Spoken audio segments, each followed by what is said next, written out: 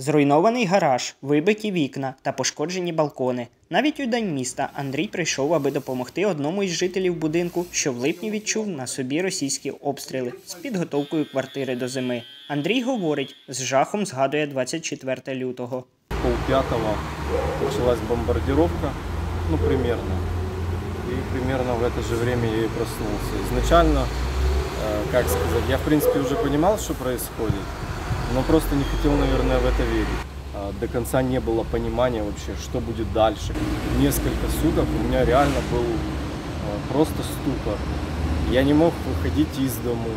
Я не мог вообще отвлекаться, я постоянно вот сидел в телефоне, что-то читал. Андрій розповідає про перші дні війни. Я помню, как я ночью стоял на улице, я просто стоял, курил, и прямо недалеко от моего дома пролетел сначала один истребитель, а потом второй. И вот это зарево, этот грохот вообще абсолютно неадекватный. Андрій розповідає про обстановку в місті, коли росіяни обстріляли будівлю обласної ради.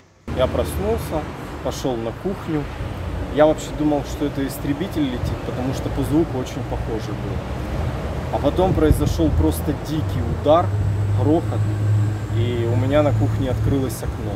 И буквально за 10 минут мне написал мой друг, и он мне сообщил о том, что облгосадминистрацию ее разбомбили. Мы потом ездили уже в Соборную улицу, нас попросили немножко посмотреть за там магазинчик был с канцтоварами, потому что витрины, половина витрин, они стеклянными были. И это все стекло, оно просто вылетело от вибрации, которая шла оттуда. Але найбільше чоловіку запам'ятався обстріл росіянами його рідного вишу. Вот там, конечно, я сразу понял, что прилет, он действительно, он очень близко. Мой дом, он находится где-то, ну, может быть, метров 100 от университета. И куски здания с университета полетели мне на крышу.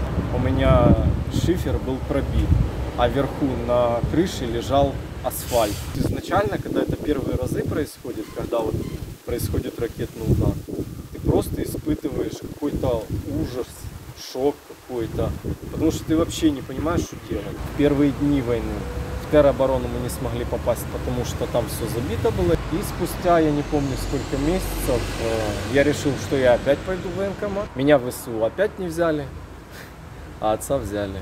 Чоловік залишається в місті, адже каже, тут його домівка, тут його рідні і друзі, і тут він може бути корисним. Я, как правило, просто как связующий между людьми.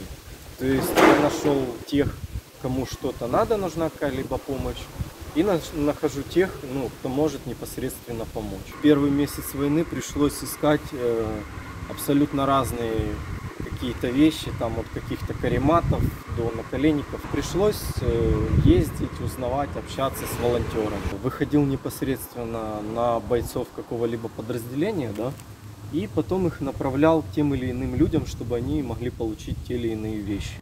Андрій каже, єдиний плюс війни це те, як консолідувалися люди в місті. Люди здесь многие как скооперировались.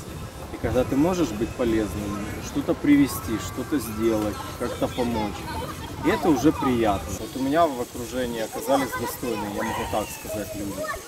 Война, она так или иначе, она все проявляет. Жителям города Николаева я желаю быть сильными, целеустремленными и все-таки оставаться, знаете, как говорят, людьми. Поэтому работайте, любите, живите.